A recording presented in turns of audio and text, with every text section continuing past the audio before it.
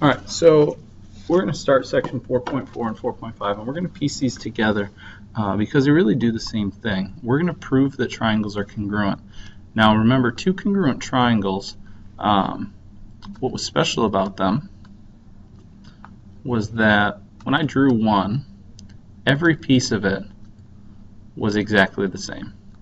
And what we were able to do was mark this side congruent to this side, this one congruent to this one, and so on. And so every piece of this triangle, including the angles, let's change the color. This angle was congruent to this one, top angle congruent to top angle. Um, all of the angles and all of the sides of congruent triangles are congruent.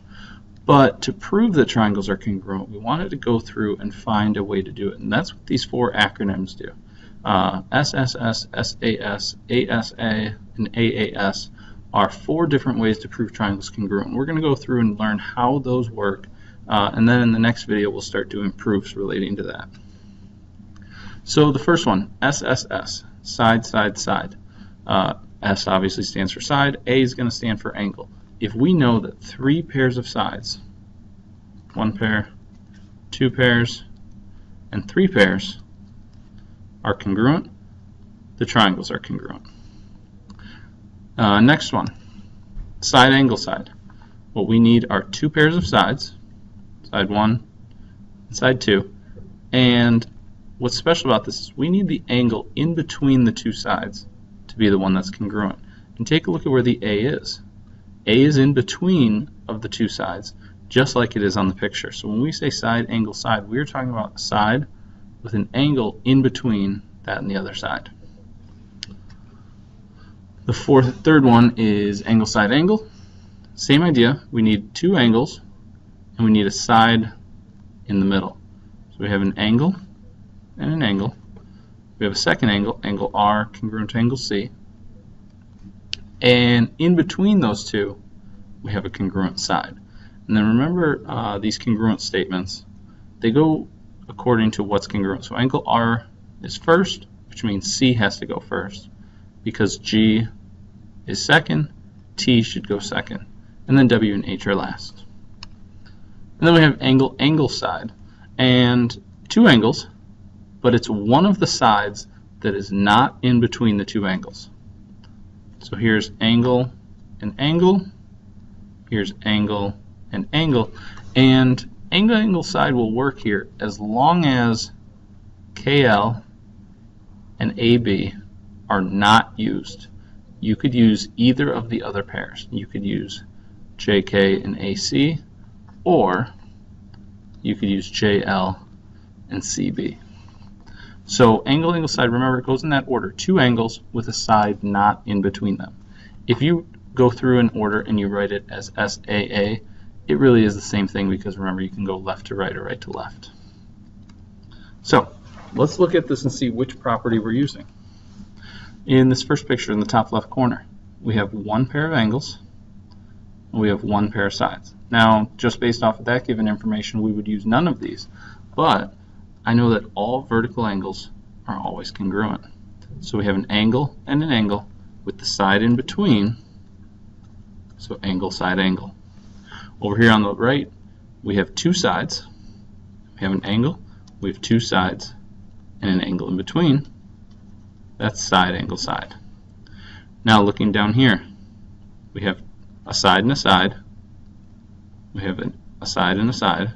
And this middle side, what's special about the middle is that both triangles are using BC. Since they both use it, remember that property reflexive? We're going to use reflexive property to say that that side is congruent to itself. So this one actually is side, side, side. Uh, let's do the same thing.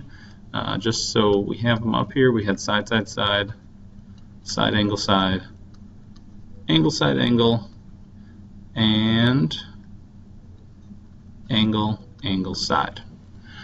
Looking over here, we have an angle and an angle and a side in between, but it has to match here, angle, or side, a side, but we don't have the angle in between. So this is none because this angle here, circled, would have to be the one that's congruent.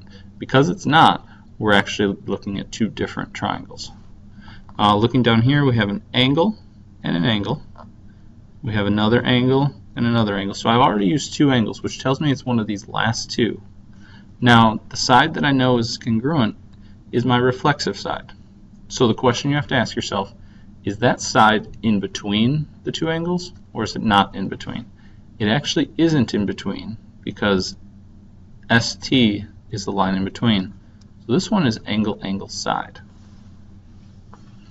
When you look over here on the right, you have two right angles, you have two congruent angles, and you have vertical angles congruent. Now, based on what I know, that's angle, angle, angle. The only problem is angle, angle, angle is not a is not a congruent statement. As we get into later chapters, it's going to be a similarity statement, but for right now, we don't want to use that, so we're going with none again. Let's try again which property. We have two sides with an angle in between. Side, angle, side. Take a minute, try the other ones, see if you get them right. We have a reflexive side in the middle, so that's side, side, side. Over here on number three, we have vertical angles. So we have angle, side, angle.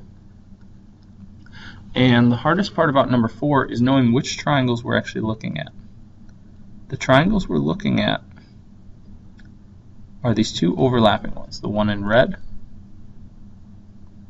and the one in blue. Now, in red and blue, this angle on the top is congruent, these sides are congruent, and these angles are congruent, so it follows angle, side, angle. One of the hardest parts is if you have triangles overlapping, trace them so that way you're able to see which triangle you're using. Try these ones and then we'll continue.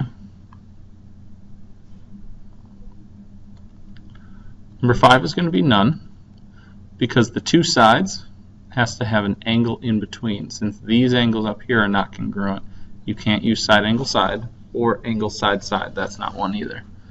Over here we know we have a reflexive side since we have angle or side, angle side, SAS. Over here, M is a midpoint of AB. Being a midpoint tells me I make two congruent statement or two congruent segments. Same over here. M is the midpoint of CD.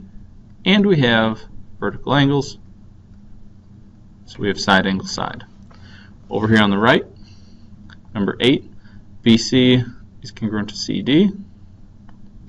I know this is congruent to itself. And because 1's congruent to 2, I know that angle ABC is congruent to angle ADC. Problem is, this is side-side angle.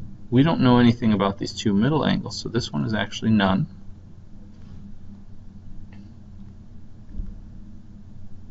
Looking over here on number 9, we have an angle congruent to an angle. We have a side congruent to a side. Reflexive in the middle, angle, side, angle. Over here, a side congruent to a side, another side congruent to another side with an angle in the middle makes it side angle side.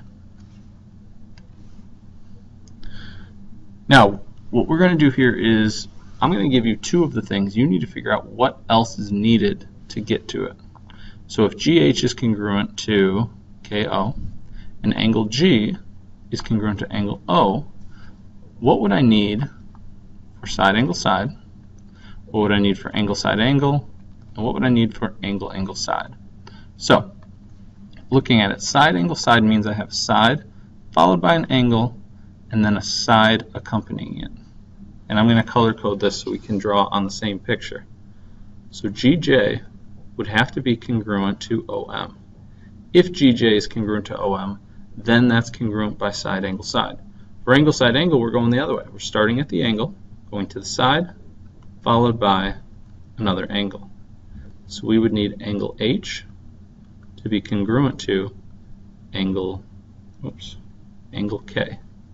Angle H congruent to angle K. For angle angle side, we're starting at the red angle and we have a side over here which means we want to go the other way if angle J is congruent to angle M, we have an angle, an angle, and a side. We're using purple and red for angle, angle, side. So I need angle J to be congruent to angle M. So if we want to go by side, side, side, I need all three sides. I need those two missing sides to be congruent. So BD has to be congruent to JL. For me to use the property side, side, side, this is getting me prepped for using proofs, I would need to say BD is congruent to JL. Trying the same thing here, I know this is reflexive. So angle, angle side, I need to pick the angle that's not angle K, otherwise that'd be in the middle. So I need angle S congruent to angle J. If angle S is congruent to angle J, then these triangles would be congruent by angle, angle, side. For side, angle, side, vertical angles are congruent. I have a side, I have an angle, I need the corresponding side. So AR, if AR is congruent to PR, these triangles will be congruent by side, angle, side. For angle, side, angle, you need an angle on either side of the side that's congruent. Since this is the one that's congruent, I need angle F. Since this is the side that's congruent, I need angle B. So if angle F is congruent to angle B, these triangles are congruent by angle side angle. Now, don't panic. This isn't the last time we're doing these four properties. We're going to be spending at least a full week working on these proofs and these four properties.